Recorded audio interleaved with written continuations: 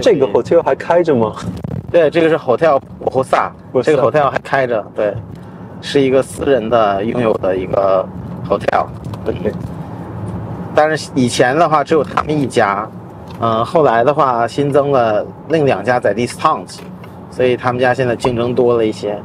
对，这边呢沿岸叫在布洛萨洛昂，这边呢是有很多退休的本地人住在这边的这个楼盘里，很多公寓啊。对，很多公寓，呃，它主要是朝着圣劳伦斯河是有河景的。这个楼后面就是圣劳伦斯河。所以一些老年人、退休人很喜欢住这里。对，退休人呢可能打理不起他的 house 了，就把他的 house 呢卖掉，卖掉了然后呢买一个 condo。这边的很多加拿大的本地人呢就会成为这个候鸟一族，冬天会去南边佛罗里达、加勒比海地区生活，夏天呢就会回到蒙特利尔，所以他们也不想用一个 house，因为 house 的话相对来讲比较麻烦，condo 的话把钥匙一锁就走人，还可以一走走六个月无所谓嘛。到年龄大了，孩子也大了，最后呢他们就把 house 卖掉，然后呢就选择去住 condo。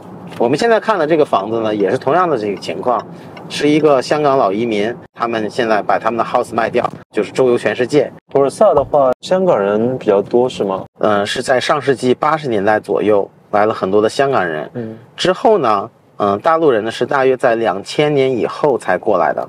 华语呢最早是客家话，台湾人和香港人粤语为主流，到后来就是普通话。蒙特利尔呢，相对于这个温哥华和多伦多这边普通话的需求量反而是更大的。蒙特利尔的这个大陆人其实更多。那博尔萨的居民是怎么来辨别呢？或者怎么来分的呢？对，布鲁萨呢这边挺有意思啊，它的街名呢都是以字母开头的啊。呃，如果这个你看到字母上面写的都是 L，那就是 L 区；如果写的都是 C，那就都是 C 区。嗯对，我们现在到了这个 R 区的这个大 house 这个房源啊，是我们独家代理的一个房源。我们到了，哦，王总，这个房子好大呀，是，这是哦 R 区的一个比较大的一个 house。挺气派的。嗯。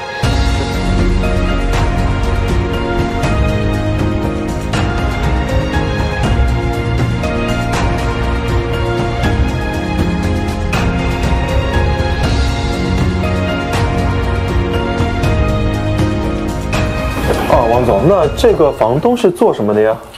呃，这个房主呢是呃华人老移民啊，来这儿有四十多年了，是香港的，在这边呢做餐饮业的。哦对，然后现在年龄也大了，退休了，他们就把他们的这个生意卖掉，然后把这个 house 卖掉，换了一个 condo，啊然后去在这个南部那边，美国南部呢买一个度假别墅，冬天呢在美国美国。哦对对对，所以就这样的一个生活方式。然后呢，左手边呢，你先看到呢，这个是一个客厅，对，会客厅。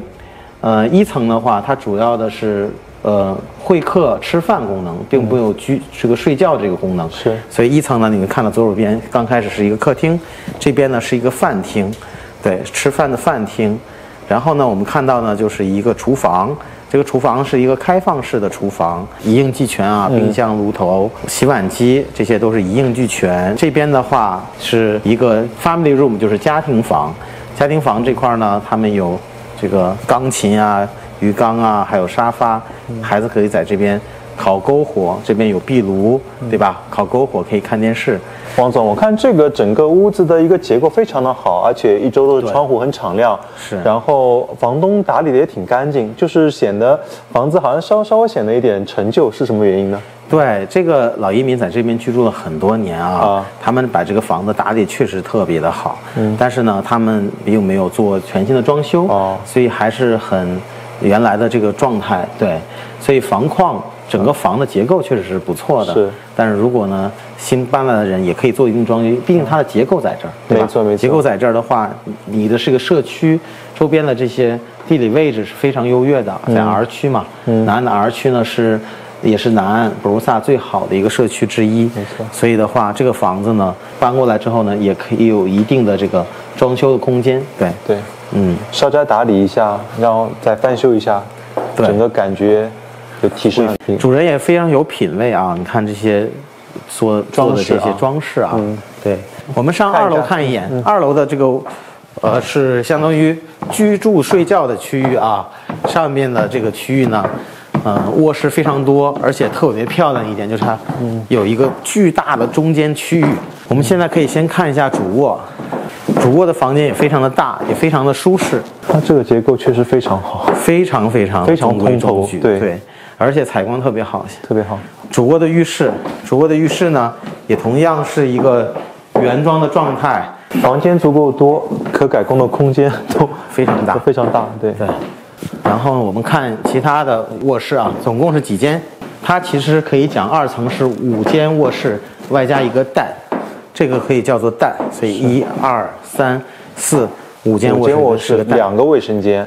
对啊，两个卫生间，一般在这些博如萨这区域内，四卧楼上都算很大的。是这个是五间卧室，而且每间卧室都大。嗯，这个蛋也非常的好，在这边坐沙发上可以看书，它对吧紧邻？着那个阳台。对，还有一个很漂亮的阳台，嗯这阳台的采光特别好，我们打开出来看看一眼。站在阳台上呢，夏天的时候在这边喝个茶，喝杯红酒，非常惬意。是对，嗯，看看外面的风景，非常的惬意。好，这边的卧室呢，现在目前主人拿它当做一个书房，对，当做一个书房办公室。这边是另一间卧室，这边是浴室，它的卧室非常的多，是，对，足够应付家里多的人了啊！而且我这注意到这边还有一个天窗，对吧？还有一个天窗，对，对这个天窗也是自然采光。没错。